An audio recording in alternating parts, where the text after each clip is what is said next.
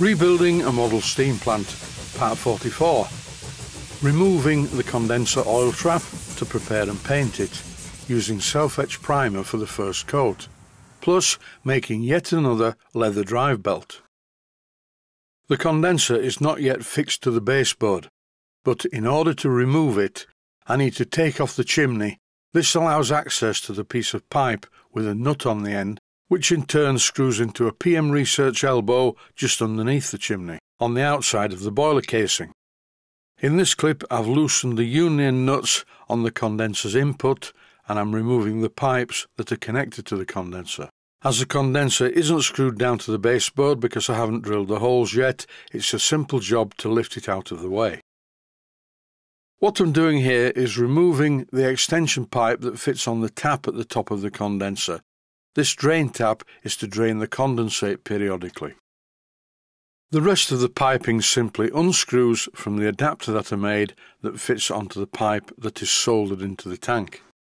In this clip, as I unscrew the piping adapter, you can see how effective Loctite 542 is as a thread sealant.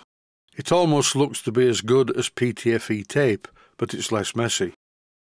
With all the piping out of the way, the next part of the job is to thoroughly score all of the copper using a suitable piece of coarse emery cloth. The reason for that is to scratch the copper badly, which gives a key for the paint.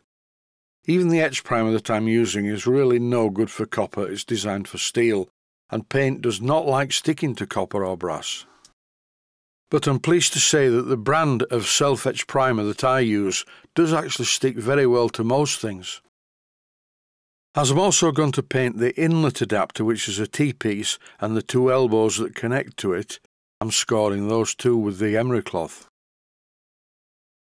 There are of course certain parts of this condenser I don't want to paint, like the brass cap and the tap on the top, so here I'm using some masking tape to build up a shield around it.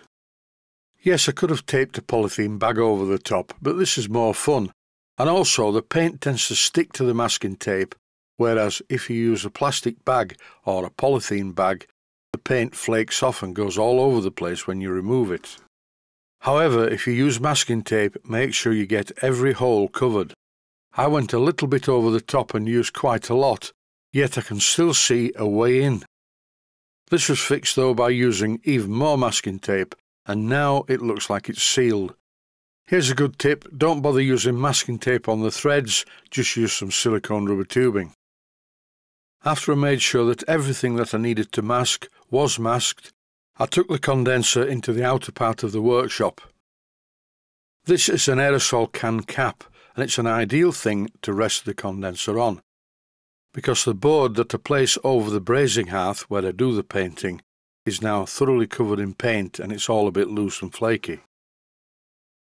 It might be an idea to write down the address on this tin if you want to buy any of this stuff. Believe me, it's the best that I've ever used. It's definitely not a good idea to breathe in this stuff. I'm painting in the outer part of the workshop next to a door which is wide open. The temperature is actually a bit low for painting particularly with the door open, and I don't like the idea of heating the part that you're painting. I prefer to do it this way. Generally, the slower the paint dries, the better the adhesion. In a similar manner, I suppose, to the 24-hour versions of two-pack epoxy resins over the 5-minute version, which doesn't seem to stick too well to parts. For many years I used to build and fly radio-controlled model aircraft, and I did notice when examining the wreckages, because there were wreckages from time to time, that the 5-minute epoxy wasn't sticking very well to the wood.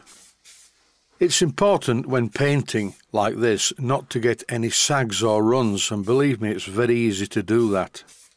That's why I'm keeping the part moving, a quick spray, a bit of a rotation and another spray and so on and so forth until eventually it's completely covered and there are no runs visible.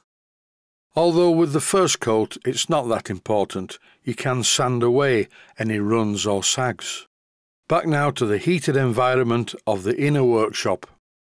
I wasn't happy with the first drive belt that I made because it was too wide, so I made a different one using a piece of black leather that I had.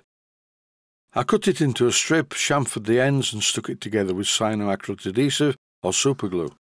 I described the making of a belt in episode 5 of Useful Model Steam Engine Design Ideas. Here's an excerpt from that particular episode. A leather drive belt to connect the Stuart number 10 to the dynamo. The dynamo has a crown pulley and as you can see the original belt that I made the other day stays on very well, even when I short-circuited the output terminals to apply a sudden heavy load, the belt didn't fall off.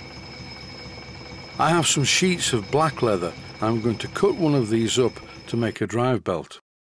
This stuff is different, it's a bit knobbly on the top surface, not as smooth as the brown, but as an experiment I thought it would be a good idea to cut this up first, rather than trim down the brown belting. That's the main thing. The black belt wasn't successful the day after it fell off, so here I am trimming down a piece of the brown belting, and it's really difficult to do. I would think it's a good idea to clamp this very firmly before you cut it because it moves around as it's being cut. And don't forget how sharp the Stanley knife is. I'm chamfering the edges using the piece of emery cloth stapled to the card. And here's the result. When chamfering these drive belts, it's important to chamfer each end on the opposite side. All I need to do now is apply some superglue. It's cool in the workshop today and the superglue didn't grab as well as it did on the previous attempt. But then again on that day it was warmer.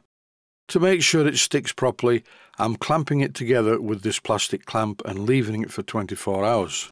My friend Andrew Stone of Black Orchard Books is sending me some leather of the correct width. All I'm trying to do is find the best method to make it stick together and be the correct length. I've bought two staplers, a large one and a small one. I'm going to try holding the belt together using staples. But that's it for now. I'd just like to say, as I always do, stay safe, stay healthy. Thanks for watching, and I hope you found it useful. I have no connection with Black Orchard Books other than a very satisfied customer and I really recommend looking on the website to see the range of things Andrew actually makes. He's very creative and very imaginative and will help you with the design of the object that you require. Highly recommended. Please don't forget to check out the website, you will not be disappointed. Please take the time to visit my Mainsteam Models website and click on the section of the website that says video playlists and by doing that you can find other videos that you may like to watch and by using the playlists you can actually watch the videos back to back